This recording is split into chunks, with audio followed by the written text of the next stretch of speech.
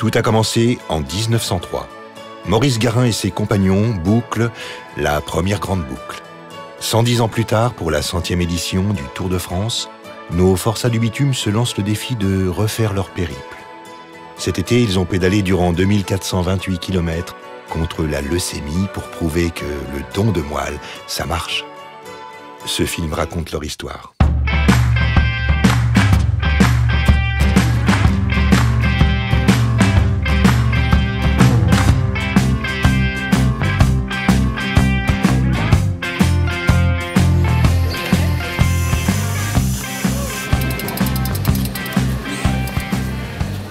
Ça nous touche beaucoup parce qu'en fait, euh, ce, chemin contre la, contre la leucémie, c'est un combat de tous les jours, et, mais c'est un combat qui ne se gagne pas tout seul.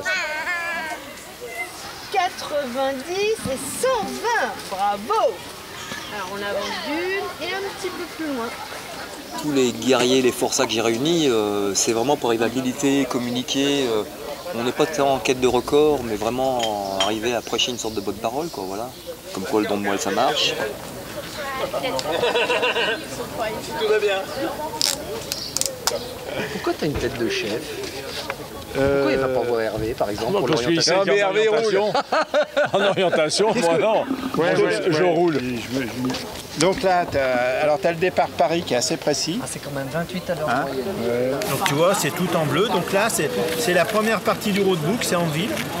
Ça va jusqu'à ça va jusqu'à jusqu'à réveil matin. En tout cas, euh, on est euh, super heureux de voir euh, des opérations comme ça et euh, de vous voir surtout en plus euh, pour, pour, pour les docteurs de vous voir euh, pédaler euh, après ce chemin-là, c'est toujours euh, quelque chose d'assez fort. Et, euh, et donc euh, bah, merci de le faire et euh, bon courage, bonne route. Eh, les gars, c'est pas. Eh, c'est pas bon, il y a deux maillots jaunes là. Eh, Il y a de la triche, il y a deux maillots jaunes.